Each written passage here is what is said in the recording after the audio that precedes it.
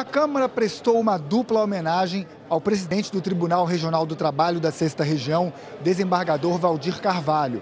Ele recebeu na mesma solenidade o título de cidadão do Recife e a medalha do mérito José Mariano. O presidente da Câmara, Eduardo Marques, presidiu a reunião solene e convidou para compor a mesa a procuradora-chefe do Ministério Público do Trabalho, Adriana Gondim, a vice-presidente do TRT, desembargadora Dione Furtado, e o presidente da OAB, Bruno Batista.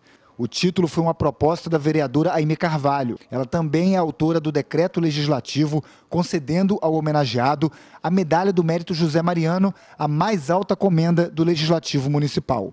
Doutor Valdir José Silva de Carvalho é merecedor dessa dupla homenagem pelos trabalhos relevantes que ele tem feito na nossa cidade, naquele tribunal, um homem vindo de Garanhuns e tem realizado trabalhos magníficos aqui na nossa cidade. O homenageado se formou pela Faculdade de Direito do Recife em 1977 Valdir Carvalho foi advogado trabalhista. Mais tarde se tornou especialista em relações trabalhistas pela Organização Internacional do Trabalho.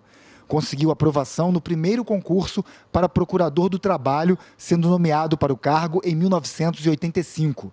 Em 2002, foi nomeado desembargador do TRT pelo presidente da República na vaga reservada aos membros do Ministério Público. Como presidente do TRT, eleito por unanimidade para o atual biênio, implantou projetos importantes como o TRT Saúde e ampliou o programa Adolescente Aprendiz. Estou extremamente agradecido à, à Câmara de Vereadores do Recife, mas não achei que, que fosse merecedor de, de tão importante distinção. Uma dupla homenagem. Né? Um garanhuense que acho que só fiz, só cumpri com o meu dever, tá certo? E sou distinguido com esta homenagem. Serei um cidadão recifense com a medalha Zé Mariano na lapela.